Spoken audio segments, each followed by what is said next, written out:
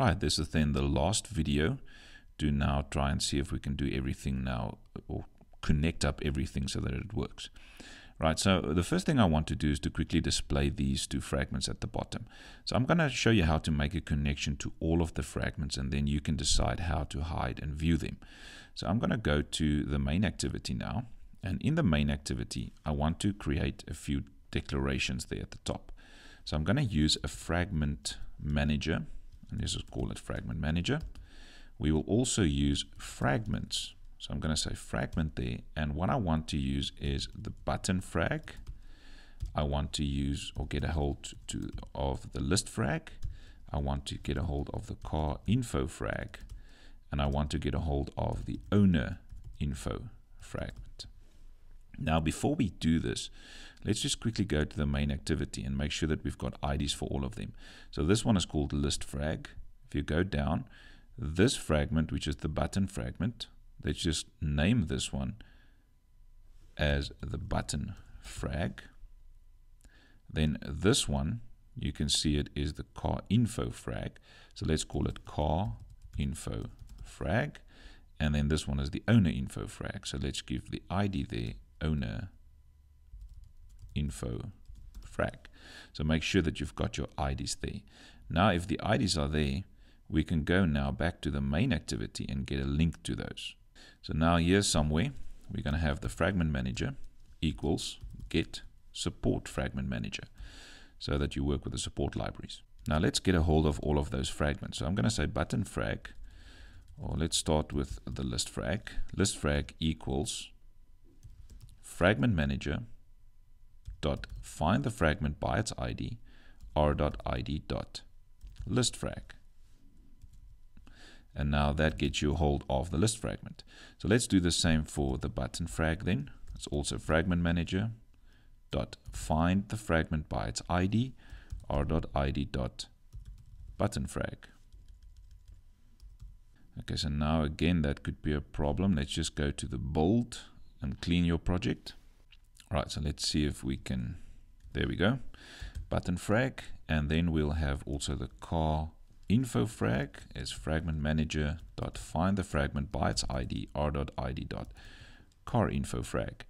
And then to get the, the last fragment there, which is the owner info frag, we can also go and say fragment manager dot find the fragment by its ID, and we called it owner info frag. Right, so now we've got a connection to all of those fragments. And what we want to do right at the start is to go to the fragment manager begin a transaction so that we can start showing and hiding fragments. So the first one will be to show a specific fragment and we want to show the button fragment right at the, at the beginning. We also want to show the list frag. We also want to show the car info frag. And the one that we want to hide right at the, at the start is then the owner info frag. And then we can go and commit all of these changes.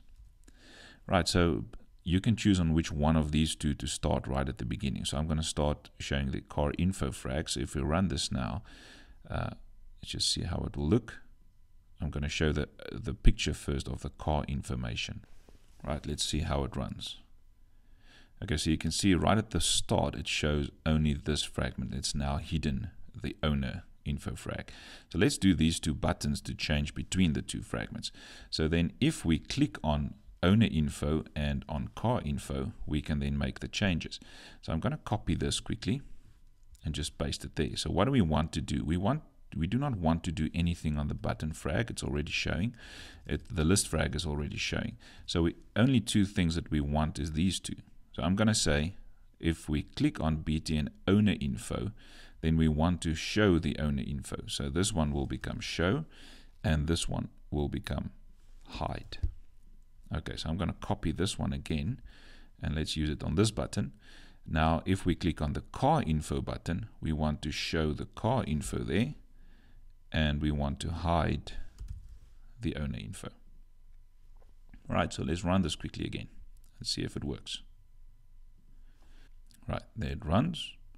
So it's showing the car info currently. If I click on owner info, it shows the owner information. Car info, owner info, car info, owner info.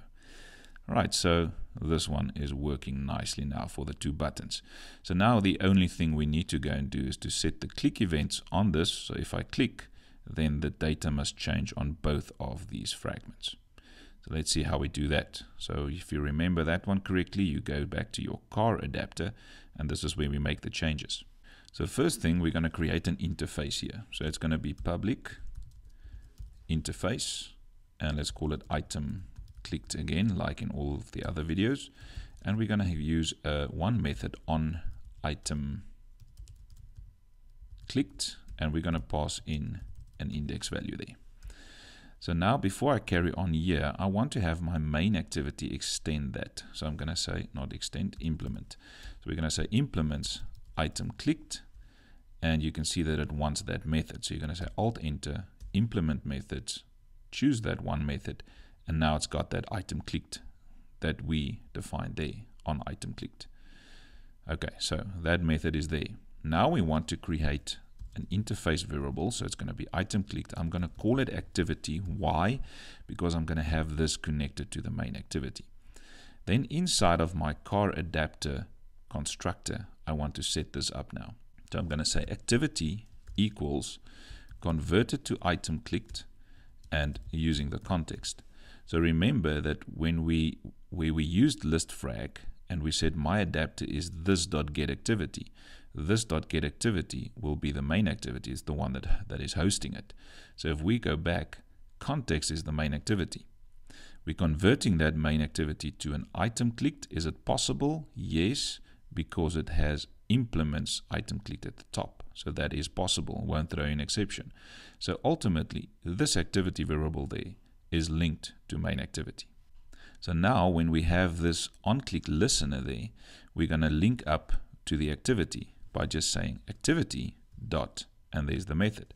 So now when it gets clicked here, we call activity, which is the main activity. In the main activity, we call on item clicked and it will activate this method.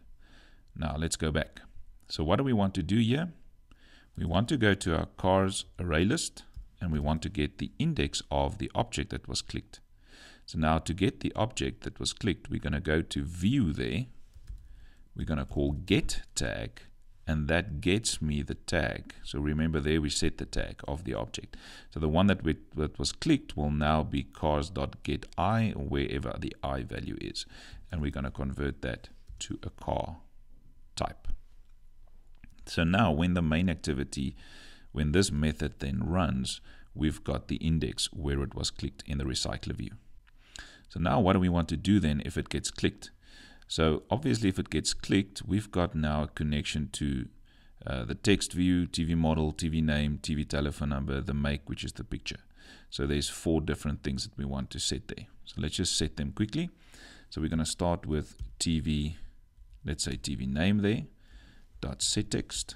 And now we're going to go to our application class dot cars dot get and we're passing in that index. So that gets me the object and we want to get the owner's name. Then the next text view there is the model. We're going to set the text, go to the application classes cars array list, get the index again, and then we're going to say get the model. Then TV tel to set the telephone number there will be set text application class dot cars dot get index again and this time we're going to call get the owner's telephone number. So now we've basically set on our let me just run this quickly again. Uh, remember there's a text view oh sorry an image view that we're going to set now. This text view will be the model. Then on the owner information we've got two text views which is the name and the telephone number. So we've set them now. So the last thing that we need to set is the picture. And the picture depends on what is the make of that specific vehicle. So we're going to go to the application classes cars variable there, which is the list.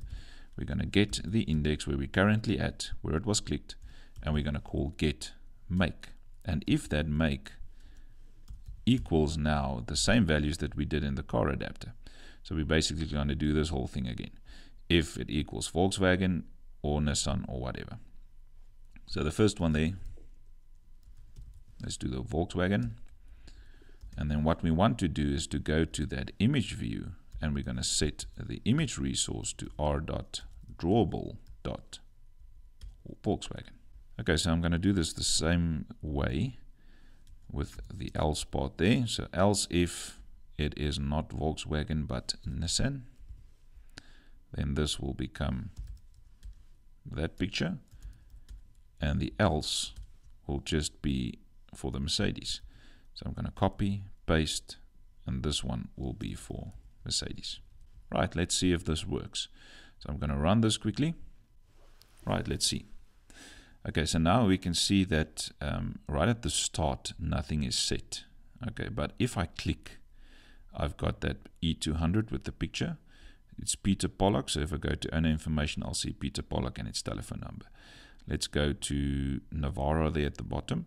So you can see it's Paul Bunting with his telephone number. If I click on car info, it's the Nissan Navara. Okay, so it's working 100%. But when we started right at the start, it's not showing anything. So the only thing we'll need to do is somewhere inside of your onCreate, we can just call this method. So I'm going to call on item clicked and passing in the zero value there, which will click the very first item basically. So if you run this again, there we go.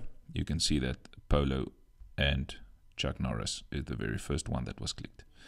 Okay, so now I think our application is done. Everything is working as it should. See you in the next one.